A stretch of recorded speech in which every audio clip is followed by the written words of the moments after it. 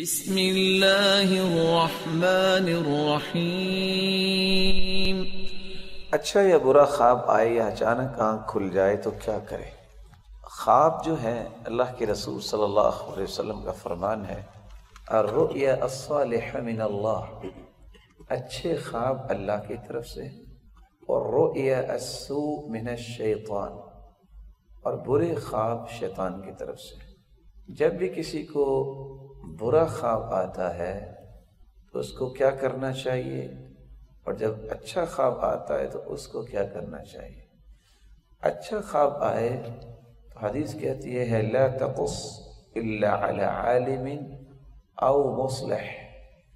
جو اصلاح کرنا چاہتا ہے، جو عالم ہے، اس کو بتاؤ، عام شخص کو نہ بتاؤ۔ برا خواب آئے تو کیا کرنا چاہیے؟ خواب کے جب بیداری ہو، بائیں طرف منہ کر کے تین مرتبہ تتکارو اور اعوذ باللہ من الشیطان الرجیم پڑھو۔ اور اللہ کی دی ہوئی توفیق سے صدقہ کر دو۔ اصل میں جو اچھا خواب ہے، یہ ہوتا ہے اللہ کی طرف سے اور برا خواب شیطان کی طرف سے۔ اور کچھ اضغاث و احلام ہوتے ہیں۔ سارا دن جو انسان نے دیکھا اور اگر اس کے اسٹمک میں کوئی پرابلم بن گئی تو وہی ساری باتیں رات کو عہد کر آتی ہیں۔ وہ بندہ سمجھتے خواب آ رہی وہ خواب نہیں آ رہی، وہ پوری جو ویڈیو اس نے سارا دن بنائی اپنی آنکھوں سے، وہ دوبارہ چل پڑی ہے۔ اسی کے مختلف سین میں ایسی تبدیلی ہو جاتی ہے کہ وہ انسان سمجھتا شاید خواب آ رہی ہے۔ اسی لیے اللہ کے رسول صلی اللہ علیہ وسلم نے یہ حکم دیا تھا، جب کوئی کھانا کھائے تو اپنی انگلیوں کو اچھی طرح چاٹ لے۔ فَلْيَلْعَقَهَا أَوْ لِيُلْعَقَهَا، یا خود چاٹ لے یا چٹوا دے۔ آج اس بات کی سمجھ آئی ہے لوگوں کو۔ مومنوں کو تو چودہ سو سال پہلے سمجھ آ گئی تھی۔ اکثر بیماری جو ہے، خوابوں کی یہ بیماری بھی ہے۔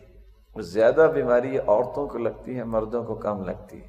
ہاں مردوں کو بھی اس وقت لگتی ہے جب ان کی ذہنی ساخت عورتوں جیسی ہو جائے۔ سوچ کا دھارا جو ہے وہ عورتوں جیسا ہو جائے۔ وہ مرض ہے سفراوی اور سوداوی مرض۔ سفراوی اور سوداوی مرض کیا ہے؟ خواب میں سمندر نظر آ رہا ہے، وہ ڈبکیاں کھا رہا ہے، دریا نظر آ رہا ہے، پانی میں ڈوب رہا ہے۔ سوداوی مرض یہ ہے کہ پہاڑ اور سانپ نظر آ رہے ہیں اور اس طرح یہ ہمیشہ کسی نہ کسی کمزوری کی نشانی ہوتی ہے جو جسمانی کمزوری ہے، کوئی خلل ہے۔ سٹمک میں ایک نہیں بیسیوں ایسی پرابلمز پیدا ہو جاتی ہیں۔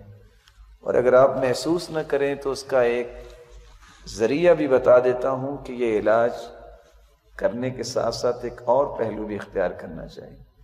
اللہ کے رسول نے فرمایا تھا، کھانا کھانے کے بعد اپنے دائیں ہاتھ کی انگلیوں کو چاٹ لیا کرو۔ اگر عورت یہ کام کر لیتی ہے، زندگی بھر سفراوی سداوی سے مرض نہیں لگتی۔ آج جو نیوز سرچ آئی ہے، اب یہ ریسرچ نے بتایا ہے کہ انگلیاں جب انسان چاٹتا ہے تو اللہ تعالیٰ نے ایسے اس میں کیمیکلز رکھے ہیں فطرتی طور پر کہ سفراوی اور سداوی مرض نہیں لگتی۔ تو بات خوابوں کی کر رہے تھے، بس اوقات سارے دن کی کہانی ہی انسان کو رات کو ایک نئی شیپ میں مل جاتی ہے۔ اور انسان سمجھتا ہے کہ یہ خواب ہے۔ جتنا انسان سچا ہوتا ہے، اتنے اس کے خواب بھی سچے ہوتے ہیں۔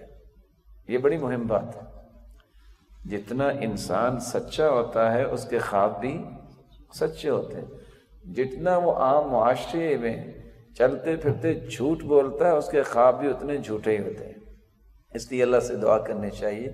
اللہ بیداری میں بھی ہمیں سچ بولنے کی توفیق دے اور نیند میں بھی سچ بولنے کی توفیق دے۔